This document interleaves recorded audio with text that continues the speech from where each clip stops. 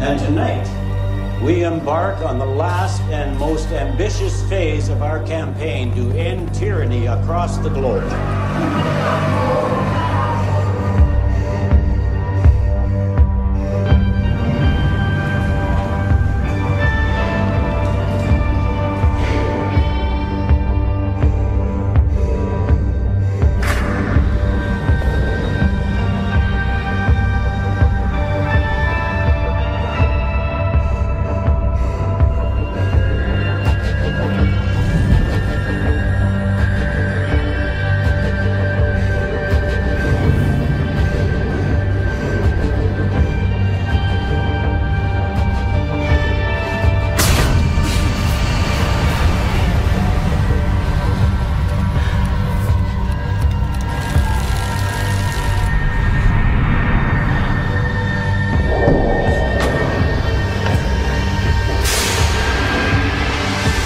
You gonna go?